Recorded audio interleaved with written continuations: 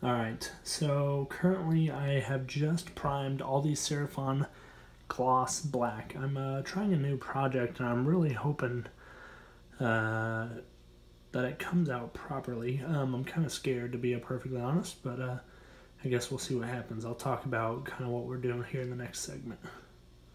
Alright guys, so here's the next step in the process. It's called Spaz Stix. Uh, it's a premium paint.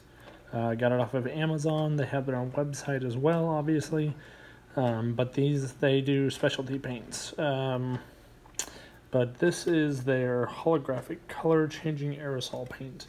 Uh, I saw a video for it and it looked pretty neat. Um, kind of hoping to get a iridescent reflective type uh, thing going for it and hopefully not just sparkly. Uh, I watched a couple of videos on it and um, watched a couple of videos on it and it turned out uh, pretty cool in the videos so I hope it turns out just as nice in real life.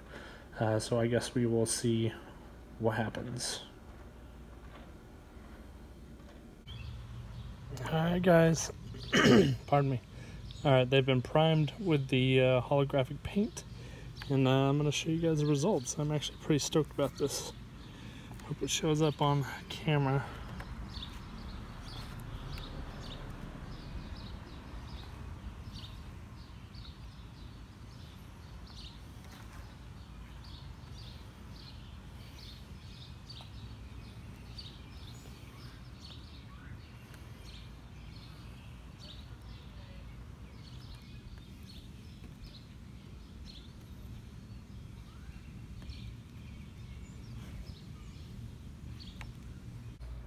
All right, as you can see, overall not bad. Um, on the flat areas, it does a lot better, but on the scales, it's a little bit just more sparkly. But all in all, a pretty cool effect.